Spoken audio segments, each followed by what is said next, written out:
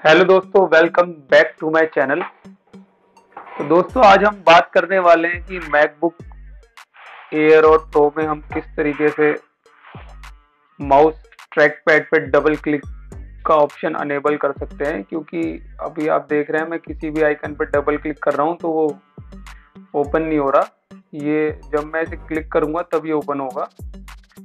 तो चलिए आइए देखते हैं वो ऑप्शन कहाँ पे है और हम उसे कैसे अनेबल कर सकते हैं। और ये मेरे पास अभी जो मैकबुक एयर है, इसमें वेंचुरा ओएस है। ये आप देख सकते हैं मैक ओएस वेंचुरा तो इसमें थोड़े ऑप्शन चेंज हो गए हैं। तो चलिए अब देखते हैं, मैं आपको बताता हूँ ऑप्शन कहाँ मिलेगा आपको। तो सबसे पहले हमें कॉर्नर पे जाना है, जहाँ एप्पल का लोगो है, वहाँ पे सिस्टम सेटिंग्स मिलेगा। उस पर क्लिक करना है हमें। और उसके बाद हमें नीचे की तरफ़ जाना है।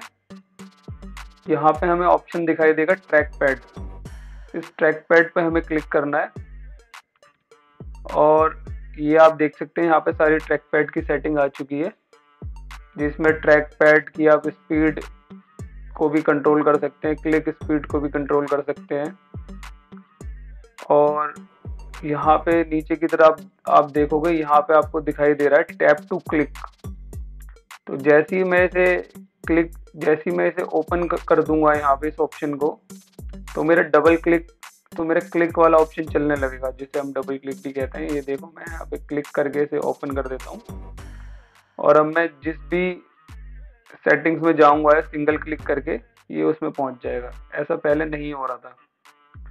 तो दोस्तों, ये आसान सा तरीका है। इससे आप अपना क्लिक वाला ऑप्शन अनेबल कर सकते हैं। आपको प्रेस करने की ज़रूरत नहीं है। जैसे ट्रैक पैड को प्रेस करना पड़ता है।